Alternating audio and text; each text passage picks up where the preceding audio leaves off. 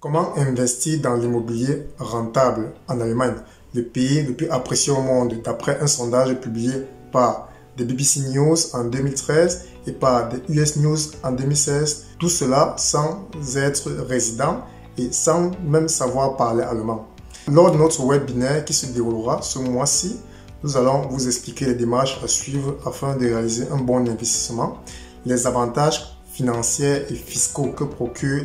l'investissement dans l'immobilier en Allemagne,